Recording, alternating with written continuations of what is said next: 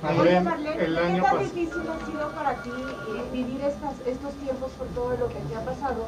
Pero sobre todo porque mucha gente que ve la televisión, que admira a los famosos, piensan que siempre son felices, que no tienen una ruptura, que no sufren por amor. Claro.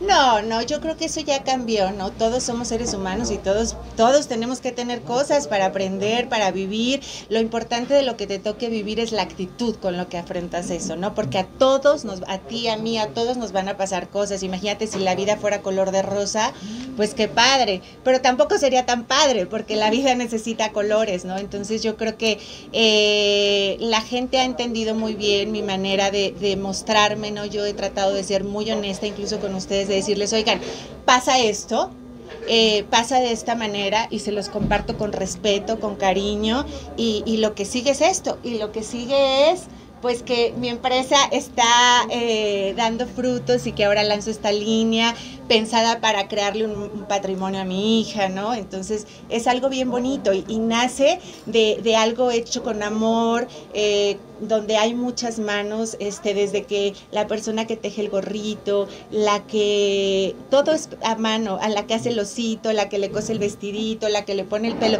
O sea, las veces sí dices, ay, pero es un trabajo bien laborioso. Ya no hay muñequitas que tengan pelo de estambre, por ejemplo, ¿no? Porque es bien, es bien complicado hacerlas y este y es bien laborioso. Entonces yo quería mostrarle como mi hija tiene seguidoras en Instagram, mamás de niñas y todo. Entonces está está muy bonita la idea. Ojalá ojalá les guste. Marlene, con el tiempo en el pleno siglo XXI se ha demostrado que la mujer independiente puede ser feliz teniendo o no teniendo una pareja. Tú lo afrontaste, tú lo comunicaste ¿Cómo vives este proceso? Mira, yo creo que se pueden ambas. O sea, yo creo que también vivir en pareja es muy bonito y es eh, maravilloso, ¿no?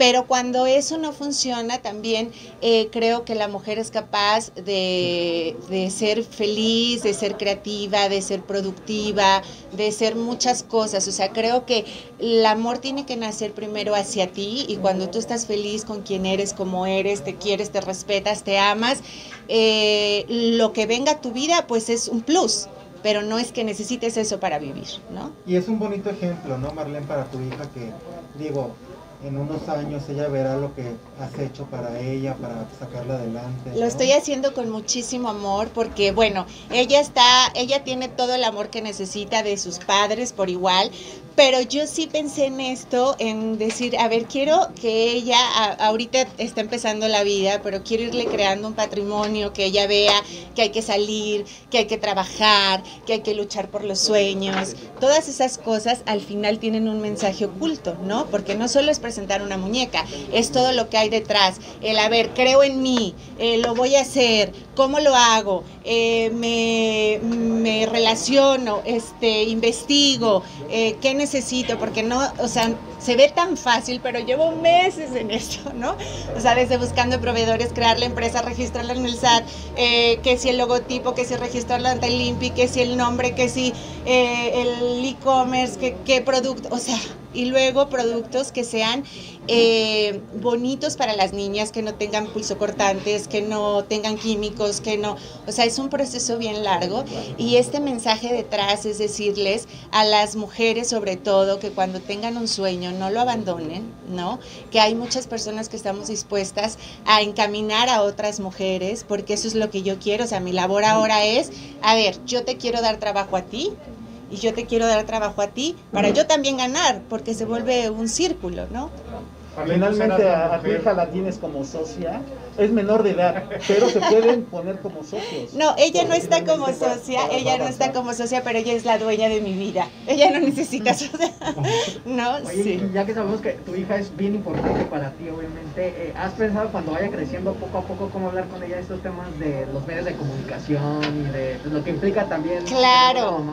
Mira, es que yo te voy a decir una cosa. Eh, mi hija nació así, ¿no? Rodeada de, esto, que si fotos, que si lo otro. Y yo creo que ella va a ir entendiendo poco a poco eh, que hay que respetarnos mutuamente. Yo le voy a enseñar, a ver, tienes que respetar a los medios y que, que, si te quieres dedicar a esto, porque a lo mejor me dice, ¿sabes qué, mami? Yo quiero ser doctor y no quiero saber de cámaras y también ¿no? Como ella vaya eligiendo, pero por supuesto que si, si quiere dedicarse a esto o por ser hija de alguien que se dedica a esto, pues tiene que aprender a que a no tomarse las cosas personal, ¿no? Que eso es bien importante porque luego sentimos como que, ay, es que me preguntó este porque le caigo. No, es que es su trabajo. O sea, es la manera en que tú me puedes preguntar lo que quieras, pero depende de mí lo que yo te quiera contar, ¿no? También. Entonces es mutuo, o sea, no es un trabajo de ambos. Exactamente. Y, haciendo esta, esta pregunta, me gustaría saber si, si tú estás en la posición de mantener totalmente eh, la manutención al 100% de tu niña, ya lo has manifestado y así lo seguirás haciendo. Mira, quiero eh, decirles esto con mucho respeto. Cuando yo me atreví a hablar, que lo hice en un video en mi casa con mi telefonito enfrente y así, eh, yo traté de ser bien honesta, como les dije antes, y hablarles con la verdad, porque al final yo puedo decir misa, pero la verdad se sabe, ¿no? Y quiero ser muy congruente con lo que dije ese día. No voy a volver a tocar el tema por respeto a mi hija. Les compartí todo, les dije de la A a la Z. Así está, ¿no? Así sigue estando, eso no va a cambiar, eh, por respeto a mi hija, pero también por respeto a mí y también por respeto al papá de mi hija, ¿no? Porque además yo quiero que mi vida esté llena de armonía, que no haya rollos de nada, que no haya nada, sino que mi hija crezca en un ambiente de amor de ambos. Y eso es lo que estoy logrando y estoy muy feliz por eso. Finalmente expresaste de una manera eh, que fue una separación muy civilizada, en la cual no pelearías la custodia de la nena y que tú misma habías solicitado el divorcio ¿Cómo va este proceso del divorcio? Es que todo eso, o sea, por ejemplo, todo eso que me preguntas, ya, o sea, ya se los compartí, ya se los expliqué. Eh, cuando tenga un papel firmado, eh, se los voy a, mostrar con mucho gusto, porque yo, yo quiero ser transparente, yo no tengo nada que ocultar, no, ni tengo porque, ay, no me pregunten de eso, porque pues es mi vida, me van a preguntar, no pasa nada, pero sí con respeto por, por mi hija y lo que, lo del video que ustedes vieron es lo que hay. No hay nada más. Oye, ¿vive bien tu hija con su papá? Todo está perfecto, todo está perfecto. Ahora tienen que entender que las personas no vivimos en los mismos países, entonces no es, no es igual.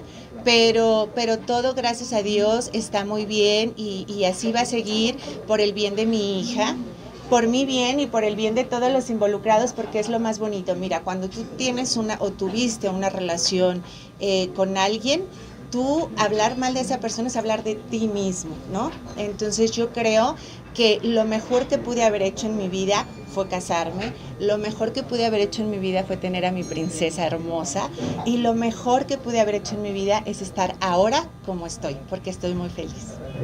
Marlene, dos cosas.